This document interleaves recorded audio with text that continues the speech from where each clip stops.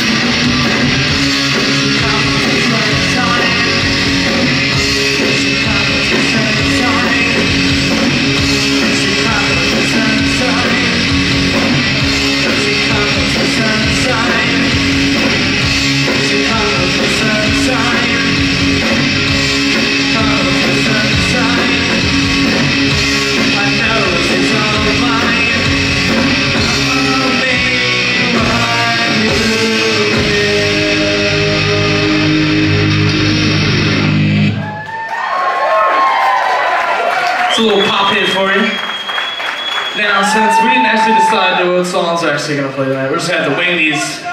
Thank you! I heard you say it.